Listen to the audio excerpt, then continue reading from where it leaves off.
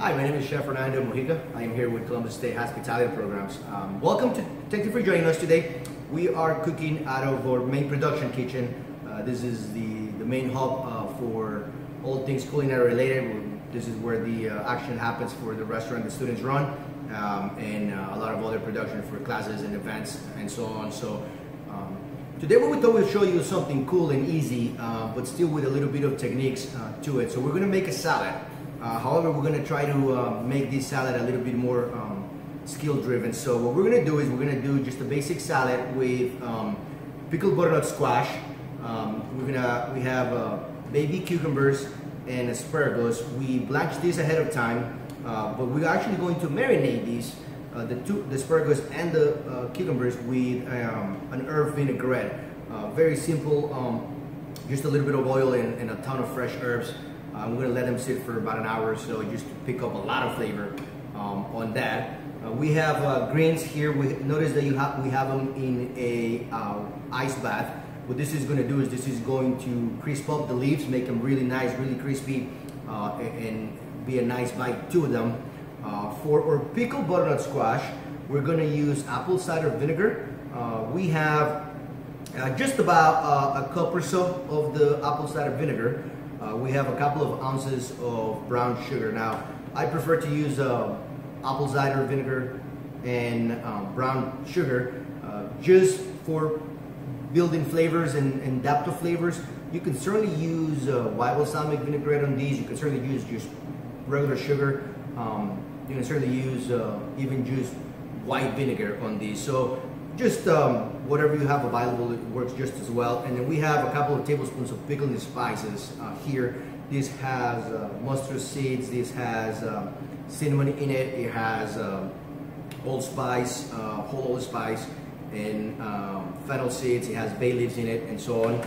Um, and then the dressing that we're going to show you how to make today is going to be an um, orange dressing or a citrus dressing. So uh, we chose orange juice for this. Again, certainly you can use um, any other type of citrus um, juice for these, lime, lemon, and so on. Uh, even grapefruit will be work, work well with these. Uh, we have Dijon mustard. Uh, this is going to act as the, uh, the binder for the dressing. We have a little bit of honey in here. Uh, and then we have a little bit of olive oil and a little bit of um, uh, vegetable oil or canola oil. good rule of thumb for your dressings, you want um, three to one part or two and a half to to one part. It depends on how tart you want your vinaigrettes. Um, I like them a little bit more on the tart side, so I use one part uh, my basic liquid, which will in this case will be the orange juice, and then I use two and a half parts of the uh, oil in it. Um, if you want them to be a little less tart, then you want to go to that three parts oil. Um, what we're going to do with the uh, orange juice, we're going to reduce it though. So we started with um, uh, about two cups of orange juice. We're going to heat these over a low heat and we're gonna just let it reduce until we have half of what we began with. That's gonna really concentrate that flavor of the orange juice, and again, it's just a way to build up um, the, uh, the, the flavor profile of your salad. So we'll walk you through these uh, uh steps, and uh, we hope you enjoy this video. All right, so we're gonna start with some of the components of the salad. Um, all of these components are very simple, so we're gonna start with the pickling um, of the butternut squash, right? So what we did is we took the uh, vinegar, the pickling spice, and the brown sugar here, put them in a, in a pan, um, bring them up to a boil, then lower it, let it simmer for about 10-15 minutes, let all the spices develop the flavor, like release all the oils and, and uh, the sugar to start, you know, uh, building uh, caramelization and so on. So we are going to let this go for about 10-15 minutes and then we'll, uh, while we do that, we're gonna start getting our butternut squash ready. All right, so we're gonna show you how to cut a butternut squash. A lot of people um, have not, uh, don't do this too often and so on. So uh, the easiest way to do it is take a butternut squash. I like to use a, uh, a knife to peel it.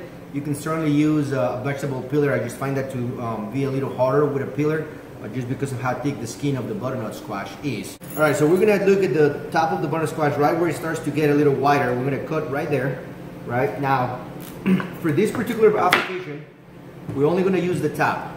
Now, these can uh, be used for other purposes. Um, one of the other videos we reference uh, root vegetables or um, cooking uh, a vegetable fricassee. Certainly something that you can use with, with that recipe as well. Um, so we're gonna save these today. Then we're gonna take our knife, cut the top part of the butternut squash, And then I like to take about the first inch or so the from the tip of the knife and then use it the same technique that you would use if you were cutting like a pineapple or a melon or a cantaloupe or something like that, right? You wanna just take just enough of the skin and the reason I like to use the, uh, the first inch or so of the knife is just because it's gonna be a lot thinner than this edge so you won't cut a lot into the flesh of the, the butternut squash and the edible part. As you can see, it's, it's really just the skin that we're peeling. So we'll do this all the way around. It's peeled now. We're gonna take um, the beginning edge right here and we're just gonna flatten it out a little bit. This will help with um, making sure that it's not uh, wobbly. Right, so we're gonna cut these into um, small dice. So we, we now have a, a, vegetable that's not gonna move around on you. So we're gonna do planks that are an eighth of an inch thick, right? Um, and then once we do these planks, we wanna be careful there. Um, we're gonna take, we're gonna lay them flat and we'll do the rest of them. We're gonna lay them flat and then we're gonna cut into basically matchsticks that are an eighth of an inch thick.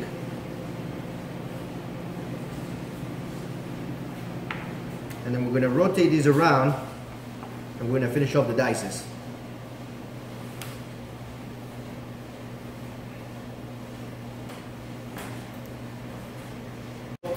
We have our pickling liquid ready. We have our uh, butternut squash dice, and what we're going to do is we're going to take this liquid and we're just going to strain, get all the you know pickling spices out of the liquid. Um, we're gonna let our butternut squash sit uh, at, and in a cooler um, or a refrigerator. We're gonna put this in until the liquid is completely cold. Um, one is completely cold. Uh, take about an hour, a couple of hours or so. Um, ideally, by then the, the, butternut squash will be pickled. Um, sometimes you can do these and leave it overnight, and that will just intensify that, that flavor of the butternut squash. Uh, but after a couple of hours, you should be good to go. All right, so we're gonna start our dressing, um, and then after this, we'll be ready to play off the salad. Um, so what we have here is we have the orange juice that we reduced earlier. Um, we have the orange juice, we have um, the mustard, the Dijon mustard, and the honey, okay? We um, have uh, a little bit of a, as, a, as a way to stabilize our bowl and, and not have it, uh, make it easier for us as we blend in the oil. I put a little bit of, um, uh, put a towel with a little bit of water here. That will help the bowl to stay, stay kind of flat. Um, and we have our oil. Um, so what we're gonna do is we're gonna very slowly incorporate the oil uh, a few drops at a time to make the emulsion.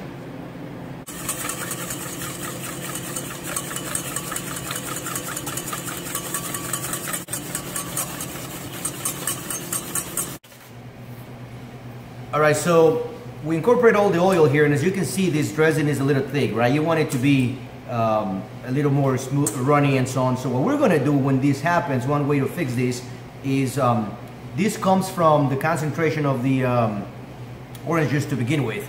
Um, it was very thick and very concentrated to begin with, so that, that's where that thickness comes from. So what we're going to do is we're gonna take a little bit of uh, unreduced orange juice or whatever other juice you might have used to begin with. And we're gonna add a little bit of that to adjust the thickness of it.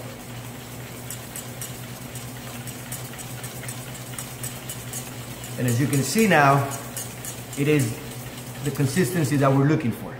So it's a lot easier to incorporate your oil to begin with and do it at first and then adjust the thickening if it needs it, uh, rather than trying to in incorporate the, the, the um, unreduced juice as you go because you'll have a better chance of um, getting to the consistency that you're looking for um, if you add the, the unreduced juice at the end rather than as you go. But uh, this is the consistency we're looking for. Um, we're ready to go now. We're gonna go ahead and start plating our salad here in a little bit. We have all of our salad components ready.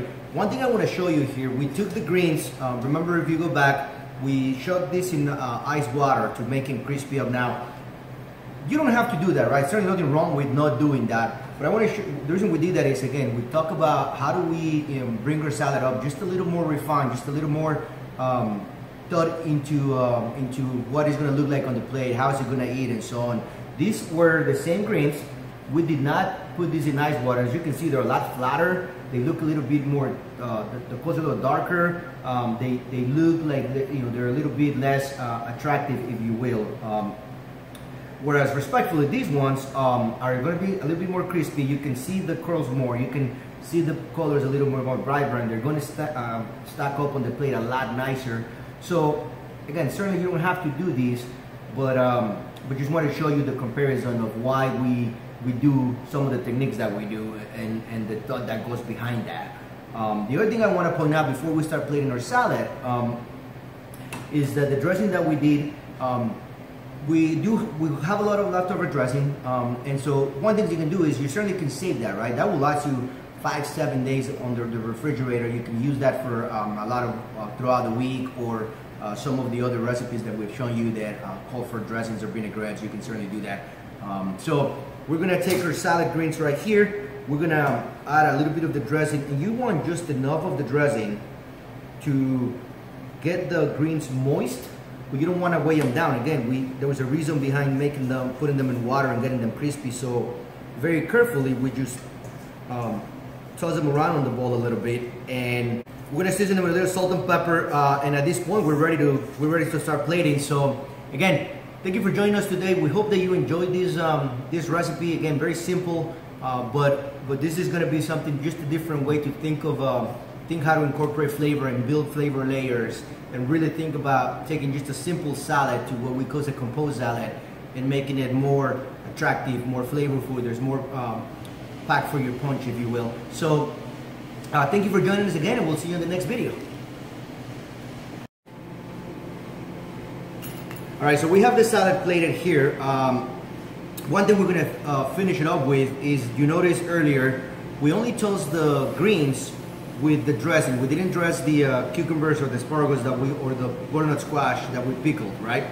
Um, the reason we didn't do that is because we marinated the, the asparagus and the cucumbers and we pickled the butternut squash. We want those flavors to help marry that salad up, help, help marry all the other flavors. What we're gonna do though is we're gonna take a little bit of the dressing and we're just going to lightly sprinkle um, some of that dressing around just to um, touch some of the components, but we don't want these swimming um, in dressing. You want, again, you want to have those flavors shine versus tossing the whole salad and all the ingredients with this. So, um, ready to serve now. Um, we hope you enjoyed this video. Thank you for joining us again. Um, I hope that you find a way to make a, a, simple salad and really think about the flavors and really think about the development of um, the techniques that go into building flavors and taking something from a very simple dish to a little bit more um, elevated dish and a little bit more upscale with uh, uh, being careful of the touch and being um, proactive on how you end up the end result um, and the flavor profile of your salad. So thank you for joining us and I hope to see you again. My name is Rayleigh Harper with the School of Hospitality Management and Culinary Arts at Columbus State Community College. We hope you're enjoying our new YouTube channel and would love for you to subscribe to see more videos and chef demonstrations. Also, please visit us on Facebook, Instagram, and Twitter. Lastly, you can visit cscc.edu, the hospitality department page, if you would like to learn more information about our programs and our school.